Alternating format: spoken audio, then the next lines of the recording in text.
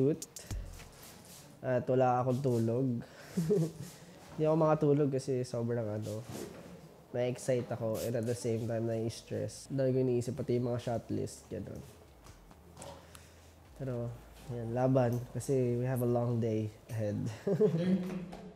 Yes, uh, gusto ko lang magpasalamat sa lahat na nag-participate dito. At syempre, who made this reality. Syempre, before parang plano lang po ito. At ngayon, uh, mangyayari na yung shoot. And sana maging smooth and uh, successful. Syempre lahat. And maging isang ayon kung paano natin inisip. So, yun lang po. Tulad ng sinabi, syempre nila, ngiti lang po tayo and let's do a wonderful shoot today. Let's get it! Let's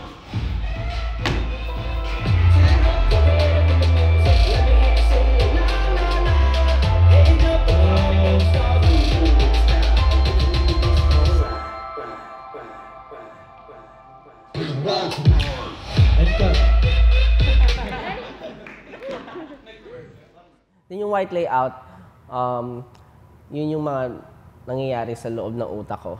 Yung parang, kung i-ano mo si Josh Cullen, pag nagiging, pag nagiging transparent kasi ako sa tao, they tend to misunderstand, di ba? Kung ano yung mga nasasabi ko. Very kasi, meron ako commanding, ano masyado eh, siguro yung aura. And yun nga, as someone na alpha, or marami kasi ako na pagdaan ng struggle. So parang, medyo yung traits ko, gano'n na siya. Gano'n naka-strong.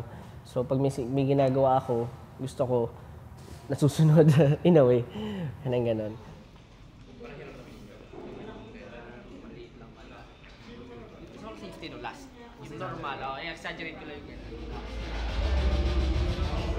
Control freak nga. Pero yun yung nasa loob ng utak ko as Josh Cullen and ayun nga, as someone na vampire dun sa music video na yun. Marami rin akong easter eggs na in- iniwan sa music video, representation, even the Dr. Plague. Ayoko sana ibigay basta-basta yung ano, yung answer for it. Pero very obvious naman kung bakit nandun.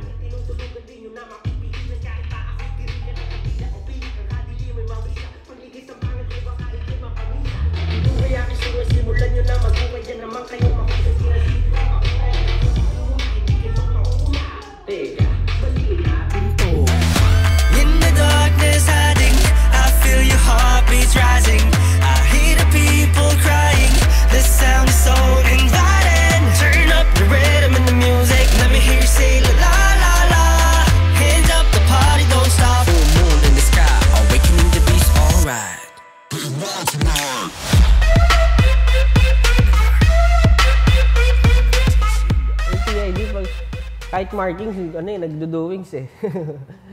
Di ba? Di, pero wala akong masabi kasi binib- naramdam ko yung, naramdam ko sila. Every time na mag kami, hindi ko siya nararamdaman as trabaho lang. Alam kong binibigay nila yung puso nila sa ginagawa nila. Kaya mas nafe-feel ko siya na ginaganahan ako. Mas gusto ko ibigay yung best ko din. And proud ako na kasama ko sila ngayon. Parang sila yung kasama ko na feeling ko hindi ako ipapahiya kahit saan ako mag-perform.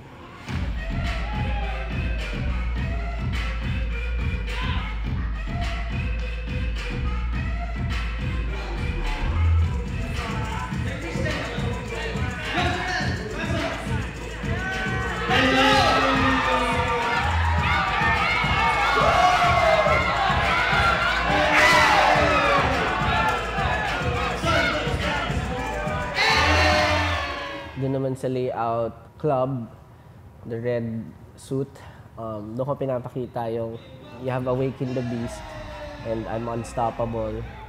I have my friends with me. I have everyone who's parang kung sino yung mga naniniwala sa akin. Ah, Dion, syempre, nandito ang Dion at nakakatuwa naman. Sinusuportahan ako ng mga ibang P-pop groups. So, very overwhelmed. So, nandito po tayo ngayon sa birthday party ko. Birthday! Sa lahat ng nakikita nyo, mga guests ko, free drinks for everyone.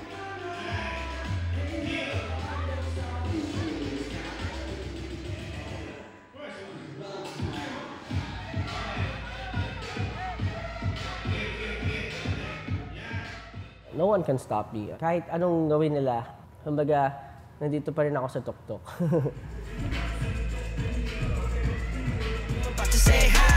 Not your typical twilight. Uh, eyes on me, it's the highlight. Uh, they doubt, but know that I can. When the sun goes down, just know that I am. In the darkness, hiding. I feel your heartbeats rising. Yung pinaka mind-blowing na naisip ko doon, siguro yung yung tattoo, yung UV tattoo. Ano po, yung likod lang muna, unahin natin. Tsaka siguro sa, sa kung meron man akong papaano. Pero kasi ito may mga extra naman. Ano, full sleeve kasi ito. Uh, parang mga full sleeve naman. So pwede din hati-hatiin, ilagay sa harap para mas mabilis. Kaya, kaya ikaw ang ano, kung pag doon ba bukas, ay bukas na ba ito? Oo, bukas. Hindi ba mag-speaker tayo sa harap o kaya mong gumawa ng panibago? May estimate naman kasi natin sa alam mo eh. Tsaka yung dry set, dry time niya, one month kasi talaga. So pag skate pa lang, pag gawa, tapos dry so, time. hindi na option. Lahat maganda yung na sa harap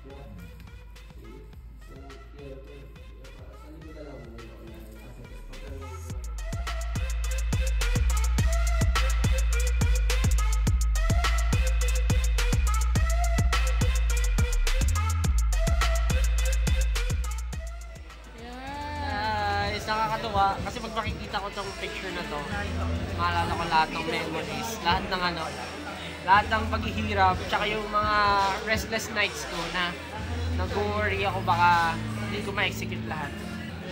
Legit yung hindi tumaganda. Kasi safe, ay ano ko tayo natin ko to. Kasi maging ano na ako, lolo na ako.